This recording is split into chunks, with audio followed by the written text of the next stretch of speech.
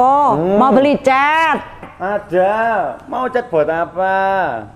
Cat tembok kok, cat galvalumnya, cat gipsum, terus cat genteng kok, cat kayunya. Kok banyak sih kok? Mau yang bisa semua media? Pakai Mix One. Mau dinding interior? Bisa. Dinding eksterior? Bisa. Kayu? Bisa. Galvalup? Bisa. Genteng? Bisa. Paving? Bisa. Pokoknya pakai Mix One. Mix One semua bisa. Udah gitu, Mix One juga anti rembes, tahan cuaca, dan pastinya tahan lama. Ini pak, catnya sudah ibu belikan.